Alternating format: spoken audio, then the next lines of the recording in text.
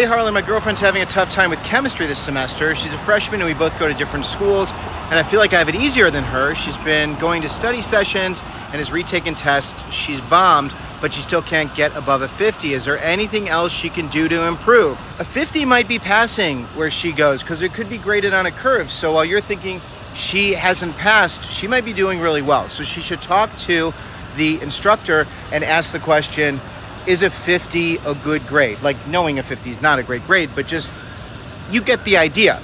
The other thing is to start over.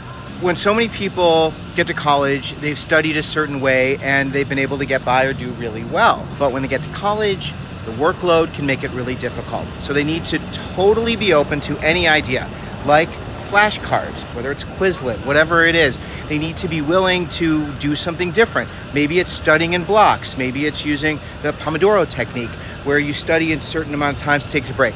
She should talk to someone in the Academic Resource Center. She should talk to her professor. She should say, is there another way I can study? Talk to people who have taken that class. But she needs to be totally open to doing things differently.